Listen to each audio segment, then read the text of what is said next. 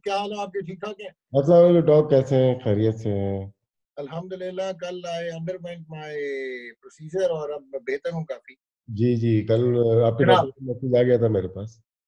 अच्छा आपके डॉक्टर का मेरे डॉक्टर का मैसेज आपको भी आ गया। जी जी और आपने आपने आपने मौके गनीमत जानते हुए अकेले ही कर लिया मैंने कहा ऐसा मौका फिर नहीं मिलेगा दोबारा अच्छा नाना England West Indies West Indies इस सीरीज़ में बहुत आउटस्टैंडिंग खेला। जी Kemar Roach has been absolutely brilliant अगर आप देखें कि इंग्लैंड की जो पहली इनिंग्स का टोटल रहा हम्म। उसमें भी कुमार रोच ने चार आउट किए 48 रन दे के और अब वो पार्टनरशिप अगर ना लगे 125 रन की बैन स्टोक्स की और जॉस बटलर की तो इंग्लैंड को काफ़ी मतलब काफ़ी मुसाइब का सामना था।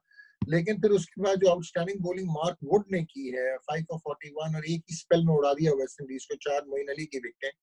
तो हम्म। ये ये मुझे लग रहा है कि अब तो ऑब्वियसली ऑलरेडी पार्टनर अपना अगर आप उनकी लीड देखें इंग्लैंड की तो 123 और 19 142 रन की तो तकरीबन लीड हो गई है।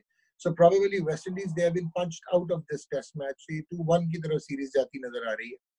देखिए कल डॉग कल कमबैक अच्छा किया वेस्ट इंडीज ने जहाँ पे 231 फॉर फाइव थे और 270 कुछ पे उनको ऑल आउट कर दिया। इसका मतलब है कि अच्छी फाइट बैक की।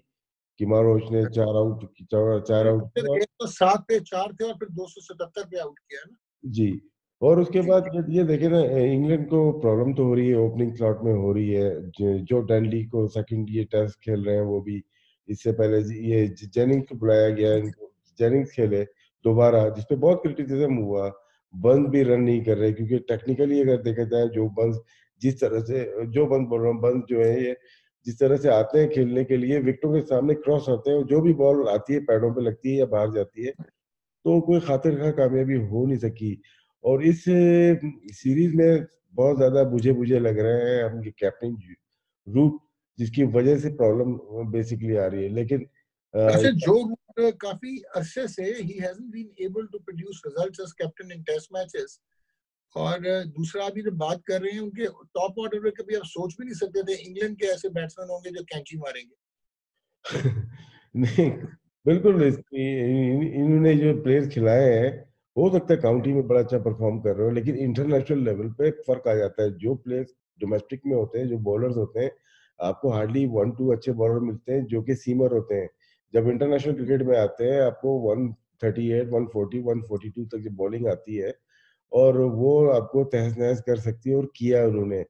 डॉग इसमें काबिल ज़िक्र इस सीरीज़ की जो बात है वो ये है कि बॉल जो बॉल गेंदें यूज़ हो रही हैं ये है वेस्ट इंडीज की ड्यूक लोकल ड्यूक जैसे हमारे यहाँ होती है प्लास्टिक कोटेड। अमूमन हाँ। ड्यूक जो बॉल है या कोकोपूरा बॉल है वो 30 35 ओवर में सॉफ्ट हो जाती है। इसमें आप लास्ट लास्ट ओवर में भी देखेंगे 77 ओवर अगर चल रहा है या 70 ओवर चल रहा है इसमें कि जो सीम है बड़ी हार्ड है और शायद लेकर जो है वो उतरता नहीं है। वही जो हमारे अ, या इंडिया में एसजी की बॉल यूज़ होती है तो ये होता है।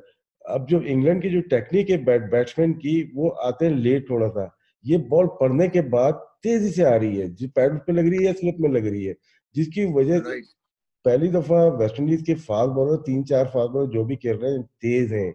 शेरन गैब्रियल है। लेकिन राशिद एक और चीज़ नोट करें। जोसेफ है ये तेज है। एयर में भी तेज है पढ़ने के बाद भी तेज जा रही के बाद भी तेज है लेकिन जो इंग्लैंड के आप फास्ट बॉलर देखें ये सिवाय मार्क वुड के जिनका मैं ये समझता हूँ कि इन्होंने जो आठ इशारिया दो ओवर्स में फाइव फॉर फोर्टी वन दो मेडन थे।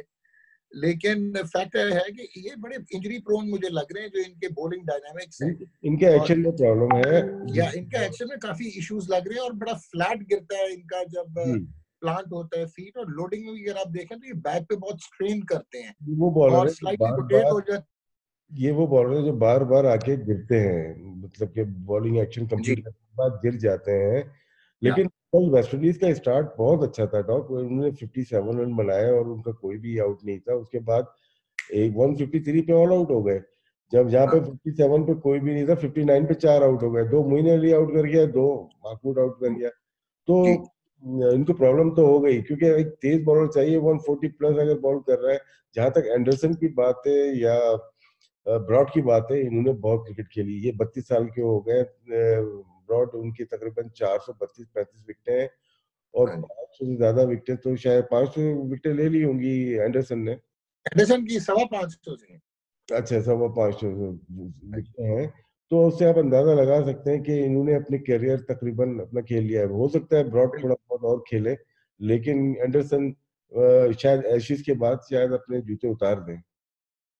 यू आर राइट अच्छा राशिद, एक और चीज़ अगर आप देखें, मैं आपको एक इंटरेस्टिंग एस्पेक्ट बताऊँ कि इंग्लैंड की क्योंकि कंडीशंस ऐसी होती थी मई से एंड जून तक तो इनको सीमर्स अगर आपको याद हो, इनके 60 70s में जेफ आर्नल्ड ही आउट कर जाते थे इयन बॉटम ने तहलका मचाया बिकॉज़ कंडीशंस ऐसी थी और इन्होंने कभी भी एक्सप्रेस फास्ट बॉलर्स अगर मैं आपको गिनवा सकता हूँ कि एक इन्होंने सेट बाँस प्रोड्यूस किए बहुत अर्ली थे उसके बाद अगर आप आए आगे तो फ्रेडी ट्रूमन बहुत outstanding fast bowler Brian Statham इनको आप कह सकते हैं एक्सप्रेस लेकिन एटीज और नाइनटीज एटीज में और सेवेंटीज में देखें तो बॉब विलिस थे जो पटक के गेंद करते थे और तेज गेंद करते थे। उन्होंने भी 325 आउट किए। अदरवाइज़ इनके पास जेनुइन फास्ट बॉलर बहुत लेट अगर आप देखें आप कह सकते हैं स्टीव हार्मिंसन ने गेंद हाँ, तेज किए सैमन जोन्स सैमन जोन्स ने कुछ तेज किए थे न्यू बॉर्न एंड्रू कैडिक थे कैडिक काफ़ी तेज करते थे। बट रिसेंटली अगर आप देखें स्टुअर्ट ब्रॉड पैचेस में 145 क्रॉस करते थे वरना अगेन ये बाउंस पे और अपनी हाइट पे वो करते रहे हैं।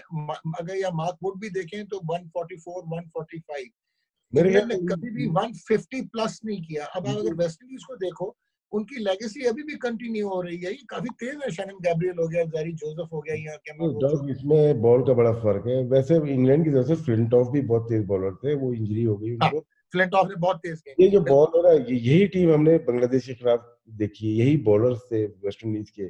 कोकोबुरा और उसमें बहुत फ़र्क है। ये डोमेस्टिक में यही बॉल यूज़ होती है जिसकी वजह से इनको आइडिया बहुत ज़्यादा है कि हमें किस तरह से खेले। क्योंकि अगर कोको बुरा होती ये बॉल यहाँ पे इंग्लैंड इंग्लैंड खेल रही होती इंग्लैंड के प्लेयर्स ने आराम से आउट नहीं होते।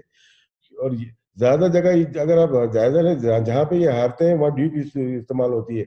ये अपने होम ग्राउंड पे भी हारते हैं वो ड्यूब की वजह से हारते हैं। अगर कोको बुरा हो इनके बॉलर ऐसे हैं कि वो आउट कर लेते हैं बैट्समैन को कंफर्ट जोन मिल जाता है जिसकी वजह से ये अच्छा परफॉर्म कर लेते हैं। समझ आ गई। अच्छा तो ये टेस्ट मैच फिर पैक कर दें वेस्ट इंडीज गया? वन फोर्टी टू हाँ मेरे ख्याल से दो जो दो सौ पचास रन से अगर ऊपर हो जाते हैं अराउंड थ्री हंड्रेड तो लग रहा है कि आराम से हो जाएँगे अगर बारिश नहीं हुई तो वेस्ट इंडीज को काफ़ी मुश्किल हो सकती है लेकिन वेस्ट इंडीज ने जिस तरह से कम किए हैं इस सीरीज़ में किए हैं होल्डर नहीं खेल रहे लेकिन उस तरह की अगर एक सेंचुरी आ जाए तो ये टीम ऐसी है कि फाइट फाइटिंग स्पिरिट नज़र आ रही है टीम वही है और आप ये समझते हैं कि होल्डर का बाहर होना इनको वो लीडरशिप अंदर नज़र नहीं आई बहुत फ़र्क पड़ा। बोलर से बैटिंग बॉलिंग दोनों में बहुत ज़्यादा फ़र्क पड़ गया। बॉलरों हाँ, ने मरवा दिया उन्हें स्लो ओवर रेट करवा दिया। एनीवेज जरा आए ना आप तो डिस्कस कर गए वो आखिरी टी ट्वेंटी इंडिया का और जो है न्यूजीलैंड का लेकिन पूरे Anderson was simply outstanding Corey Anderson कहाँ पे खेल गया? Sorry Colin Munro. Colin Munro.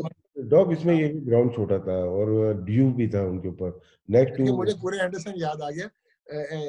अपना ये Colin Munro Colin Munro ground छोटा था 60 की बाउंड्री थी इजी था स्पिनर्स को उन्होंने चार्ज किया फागर को भी मारा प्लेयर अच्छे तीन सेंचुरी लेकिन उनका ओपनिंग स्टैंड ही बहुत अच्छा हो गया वो विकेट कीपर क्या नाम था स्टेफन क्या नाम है जो हाँ?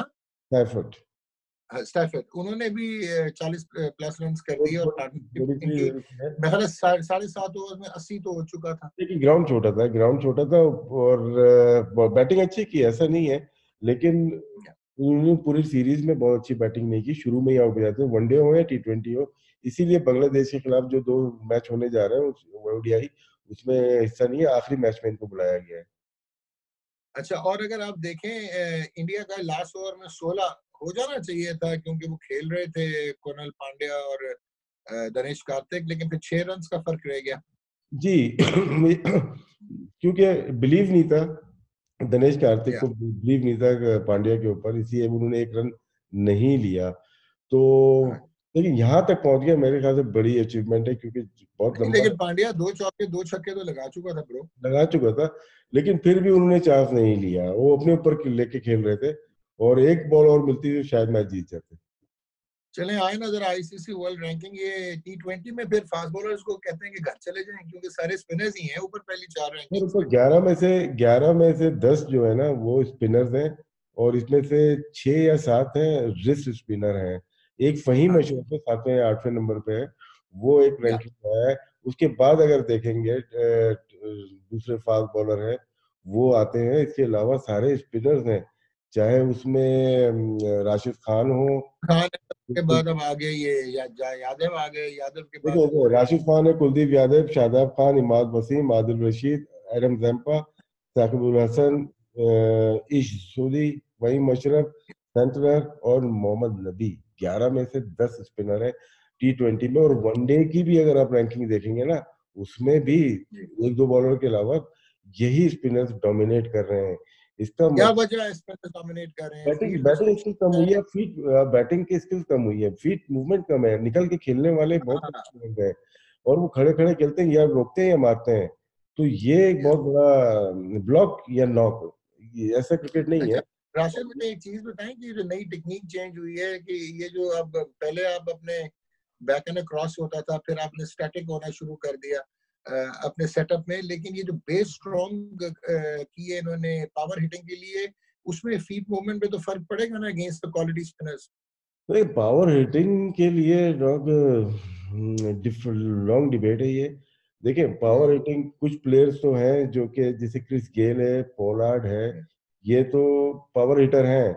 इनकी बेस स्ट्रांग है ये ये शाहिद अफरीदी है या वैसे गप्टिल भी है गप्टिल भी है। गप्टिल है इनकी बेस स्ट्रांग होती है तो जहाँ मारते हैं इनके लंबे छक्के मारते हैं। जो प्रॉपर बैट्समैन है उनके छक्के बहुत लंबे नहीं होते।